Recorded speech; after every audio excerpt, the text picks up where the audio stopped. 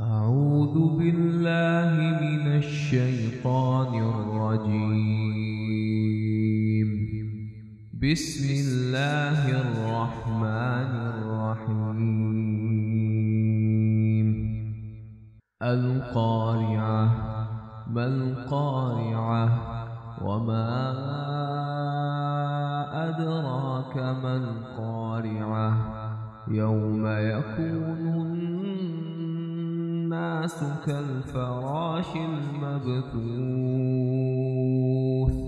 وتكون الجبال كالعهن المنفوش.